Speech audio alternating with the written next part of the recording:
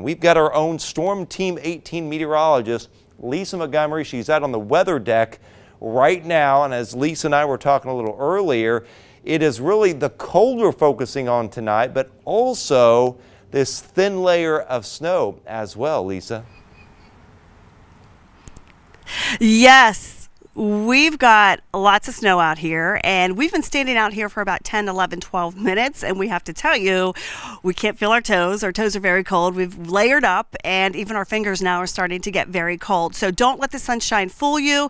It is cold out here, and it could be one of the coldest nights of the season so far tonight with low temperatures uh, down to around two below, as Chad said, with lower wind chills. We're talking about wind chills by tomorrow morning, anywhere from 10 to 15 degrees zero. That's what it's going to feel like. So certainly something to take notice and you need to stay dry, layer up, cover all exposed skin and limit your time outside.